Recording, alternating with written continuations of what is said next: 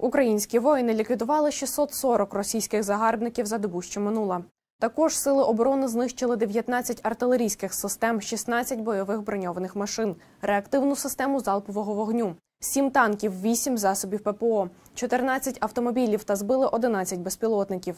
Загальні ж втрати російської армії від початку широкомасштабного вторгнення, за даними Генерального штабу, станом на 22 липня такі. Українські воїни ліквідували 241 тисячу 330 окупантів. Російська армія втратила 4140 танків і 8096 бойових броньованих машин. Знищено 4629 артилерійських систем загарбників. На 693 одиниці стало менше ворожих реактивних систем залпового вогню. Наші воїни вивели з ладу 448 засобів протиповітряної оборони ворога. Приземлили 315 літаків та 310 гелікоптерів.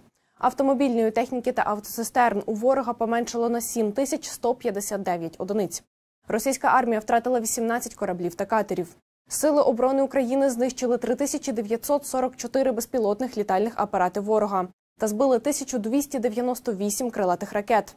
Спеціальну техніку окупантів наші воїни вивели з ладу у кількості 691 одиниця. Дані уточнюються.